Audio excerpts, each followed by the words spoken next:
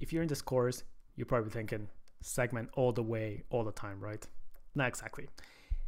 It is true that in almost every client project that we tackle on this data practical, we almost always recommend segment, especially companies just starting out to lay that analytics foundation. But it's not always the best choice. Now, you should use segment if you kind of fit three criteria. One, you're going to be using multiple event driven tools. These are tools like Mixpanel, Amplitude, Intercom, Heap Analytics. Google Analytics supports events, but they're not as flexible or customizable as like Mixpanel or Amplitude. So if you're planning of using those tools at one point or another, then Segment will help you. Now, if you're not familiar with those tools, you might be using you might you might be not, but they're really tools designed for tech companies, companies that have product teams, growth teams, and so on. Second, you'll be deploying pixels like Facebook ad pixels, AdRoll pixels, AdWords pixels, all those kinds of pixels. And some of these advertising tools actually let you send events to it. So you can send events to Facebook, for example, and you can use them as conversions. So if you're going to be doing this and you don't have Google Tag Manager already, then Segment can also help you there because you'll be able to deploy these pixels in the same way that Tag Manager will let you.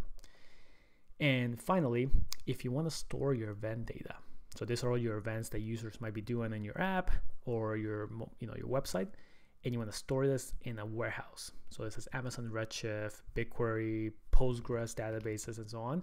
Segment will help you here too. In the segment world, this is just a destination for data, right? So you can pull it from wherever you're pulling it, your mobile apps, and you can send it to a warehouse, a database.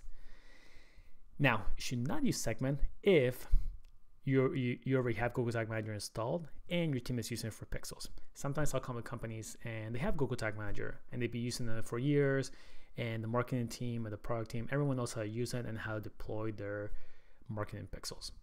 If that's the case, no need to change it, right? Segment is going to be just as easy, but your team already knows how to use Google Tag Manager. So that's a benefit. A second reason why you shouldn't use Segment is if you're not going to be using event-driven tools, right? Not every company will benefit from using a tool like Mixpanel or Amplitude. Sometimes you'll see companies that don't really need it, right? An example might be maybe an e-commerce company that doesn't really need to know that much, right? They're at a stage where they're still growing and installing an event-driven tool is not going to help them that much, right? Or maybe you have a services company, like a consulting company, and you're thinking, should I use Mixpanel? Uh, the answer is probably not, right? You, you're not going to benefit as much from all the different reports reports that are really geared for web and mobile apps.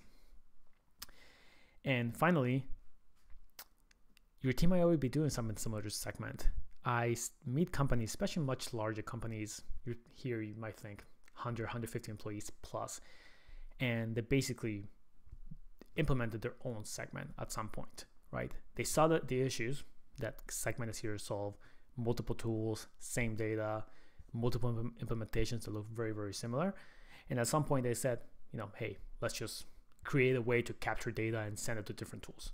So if that's the case, then moving to segment might just not be worth it, right? You might you might have an internal version of it already that you can use. So double check with your product team. Now, this is the end of this basic intro where we tackle most pressing questions. In the next section, we're actually going to dive deep into segment. We're going to go from the very start, from the sign up to sources to destinations to capturing data and sending data and using it and a bunch of other stuff. So that would be the nitty gritty on how to use it and how to set up common things. And then there's a third section where we're going to look through some common scenarios that come up. You know, how should you use segment and intercom together? Can you change the widget in intercom? How do you send data to Mixpanel and so on? So that will give you a, a quick look of how to tackle the most common pairings that people tend to use segment for. See you in the next section.